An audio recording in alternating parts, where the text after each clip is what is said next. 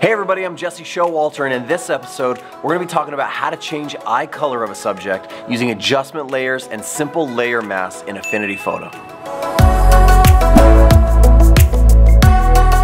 Changing the eye color of a subject is really, really easy. And what it is, is actually a practice in using layer masks and adjustment layers to get the right color and tone to really just manipulate that image to your liking. And so we're gonna do that today using Affinity Photo. If you're using some other program, it's probably really similar if it's a photo editing program. So when you look at the photo that I have on screen right now, you can see I have this nice photo of a girl and her eye, like really, really close up. And she has really, really nice eye color, but there's a lot of things that I could do to it to accentuate her eyes. I might just wanna pop out the natural color of it. I might wanna completely change the color of it and make her like a werewolf or something. You can make as small or large adjustments as you'd like using these, but I'm just gonna show you what we're gonna accomplish today, is we're gonna add a little bit of green color to one side of her eye. Then we're gonna come around and kind of give contrast to the entire eye.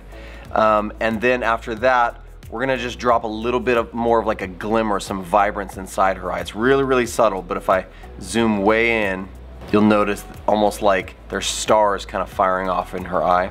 Now all I have is just the photo with the eye, and the first thing we're gonna do is drop some layer adjustments on it, okay? So we're gonna head over to the adjustment panel. We're gonna go all the way down to HSL, wherever HSL adjust is, right there.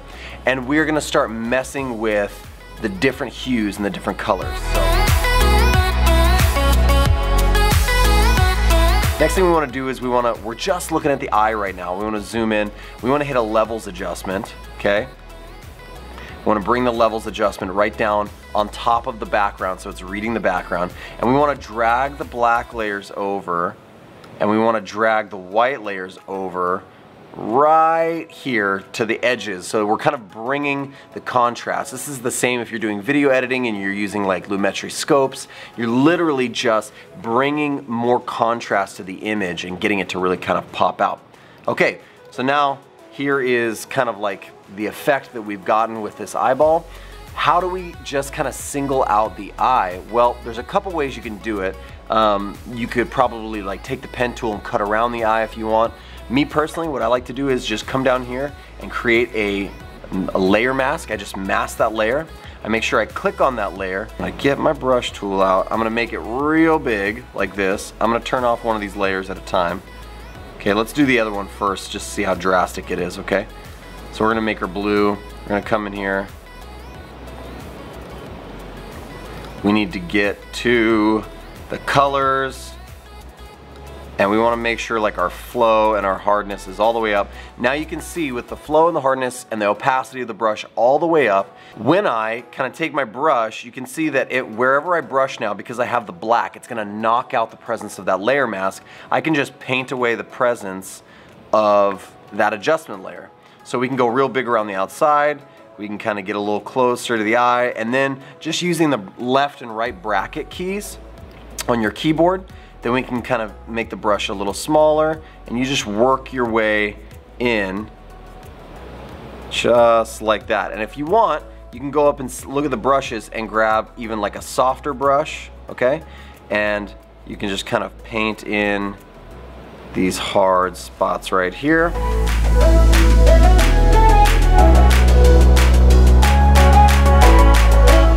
Paint all that in. And you can see now we just have an eye recolored, right? Crazy, crazy how just like, just doing that gives such a crazy effect to the eye, okay? So there we have it right there. Next thing we can do is uh, we can click on that and you can kind of see what areas are still left. So I just press, I held down command and I clicked on the layer mask right there and I can just deselect it and kind of get back in there a little bit there we go. I see this spot over there still needs a little work and come up in here.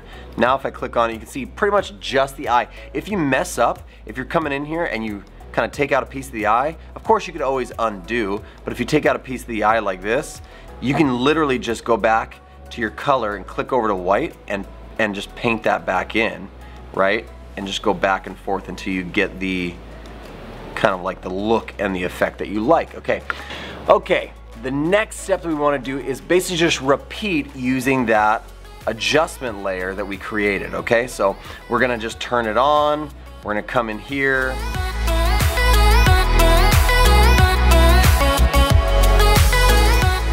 So now you have, I'm just gonna grab both of these and turn them on, turn them off.